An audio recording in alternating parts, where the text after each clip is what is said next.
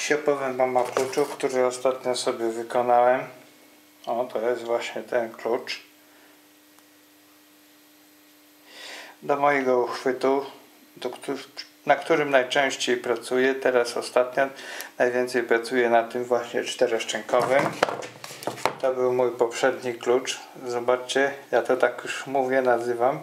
Taka bida, wymęczony, wypracowany. Tutaj luźny jest. I on jest tutaj dłuższy, krótszy od tego. A co to daje? Akurat y, ten często, jak tak jakoś niefortunnie się ustawiło, uderzałem o tokarkę, o korpus tokarki. A ten zrobiłem sobie tutaj od razu dłuższy, solidniejszy. Tu jest pręt dwunastka, tu jest pręt dziesiątka, także ten się nie powinien tak łatwo już wyginać jak ten pokrzywiony.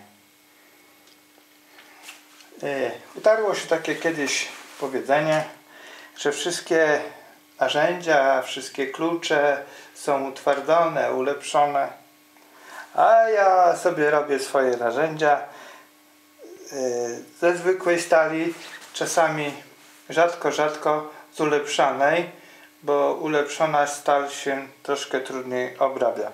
No i tak jak żeście widzieli pewnie, że y, oprawka do tulejek ER32 czy do tam do frezów y, nasad y, krążkowych na DLG 200, która jest trzystopniowa, trzy rodzaje frezów, znaczy trzy, trzy średnice mogę zakładać.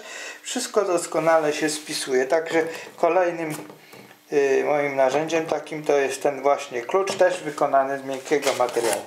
Powiem Wam ciekawostkę. Tutaj nie robiłem żadnym rozwiertakiem.